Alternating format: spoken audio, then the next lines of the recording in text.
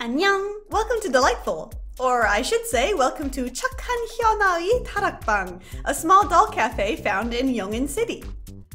Have you ever heard of a doll cafe? I hadn't, but believe it or not, there's a number of these all over Korea. I mean, it's still a niche specialty sort of thing, but I was surprised to find that, after I moved house and did a search, that there are no less than three just within driving distance from my home.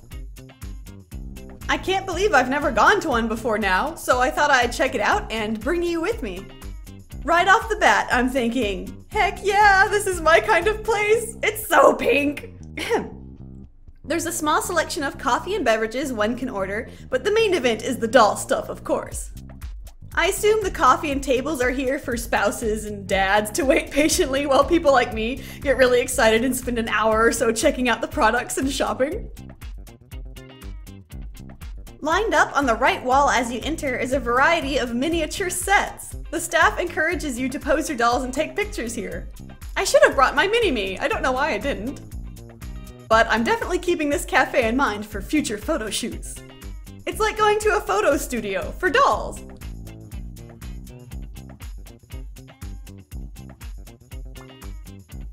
There are tons of figurines and cute blind box style toys on display scattered around the cafe. Although most of these are for decoration, not for sale, I asked. No, the main event at this cafe are ball-jointed dolls and clothing and accessories for ball-jointed dolls. If you've seen my other content, you'll know I'm more of a fashion doll person myself, but I have occasionally stepped foot in the vast, expansive land of resin dolls. It's a very different world to me. Whereas fashion dolls are generally considered children's toys, ball-jointed dolls, or BJDs for short, are considered high-quality artwork, sculpted and produced in resin with inset eyes and hand-painted faces.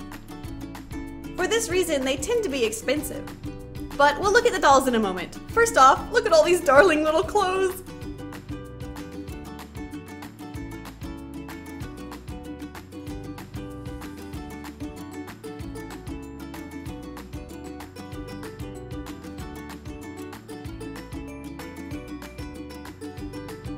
They've got all kinds of cute outfits, including these adorable pastel colored hanboks.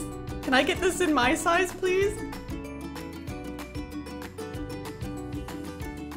There's also shoes and socks and more clothes in different sizes all along this aisle.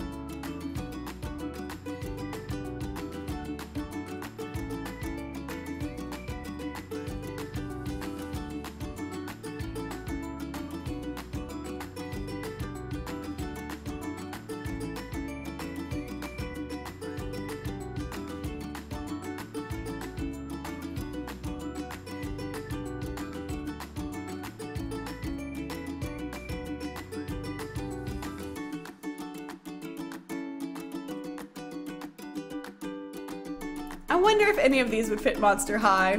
Probably not. They're so darn cute though. There's wigs too, in a pretty great variety of colors and lengths. They've also got the eyeballs for sale. Even in a professional store setting, you can't escape the inherently creepy factor of doll customizing. They've also got a selection of tools from silicone wig caps to elastic for stringing the doll together. I'll admit, I don't know what all of this stuff is for. Having arrived at the back wall, it's time to take a look at the dolls at last! The BJD enthusiasts among you likely know better than me the brands of these dolls and whatnot, but from what I can tell, they look top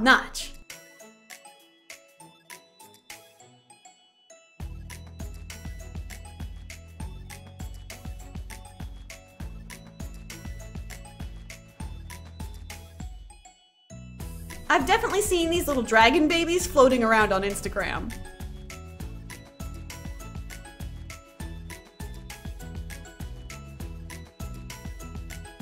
BJDs tend to have a more soft, ethereal beauty baby doll aesthetic, or at least this shop's dolls do. I don't want to generalize.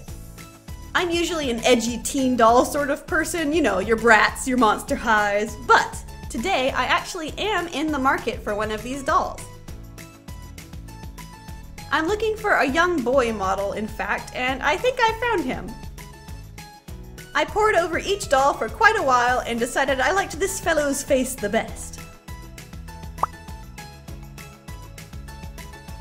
I've got plans for this special doll. I'd like to customize him and create a Year of the Tiger themed boy, dressed in full hanbok attire. I have a sketch for now, although I don't know when I'll actually be able to get to this project. For the time being, I purchased not only the doll, but a wig in dark brown, and a set of comfy looking pajamas that I simply couldn't resist. Looks like the wig fresh out of the box is kind of a dorky bowl cut. Hopefully I'll be able to style it like the blonde one the display doll was wearing. I like the way that looked. The store owner was very nice and gave me a couple freebies as well. 감사합니다! So, all in all, what do you think of these things called doll cafes? I think they're pretty rad, but of course I'm biased. Do you have any where you live? Would you be interested in exploring other doll cafes with me? Because I'd be up for checking them out. Although I don't think I'll buy a doll every time I go. Let me know in the comments. If you do happen to be in South Korea, I'll leave a link and some more instructions on how you can find this specific doll cafe in the description box below. Thank you to Chakhan Hyonawi Tarakbang for letting me film your super unique store. And thank you so much for watching. Stay artsy! 안녕!